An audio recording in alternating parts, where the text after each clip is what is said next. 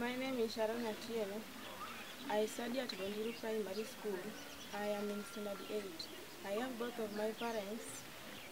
They are physicians. My father is physically challenged.